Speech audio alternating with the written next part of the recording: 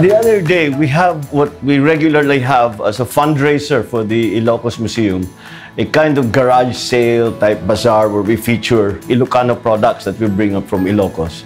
And the percentage of our takings we give to the um, museum in Ilocos.